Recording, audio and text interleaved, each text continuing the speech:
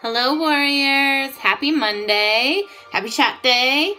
Today I'm doing stomach and I'm nervous because the last time I did stomach, I got that pain that like lasted for four to five hours and I couldn't even like hardly walk, which is weird. It's the first time it's ever happened to me. I know other of you have that experience, which I never wish that upon anybody. Holy moly. But my rotation says stomach, so that's what I'm doing.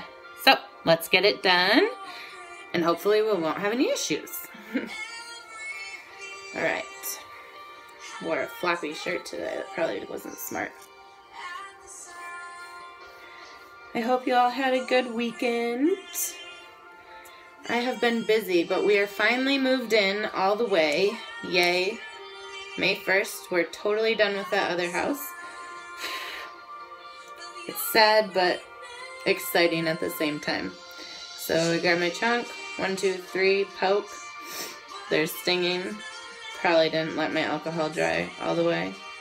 But the meds aren't stinging yet. I think for stomach, my new protocol is just immediately put an ice pack on it because stomach just sucks. One, two, three, pull out. Actually, it isn't hurting right now. But the last time this happened, it didn't hurt immediately. It hurt after.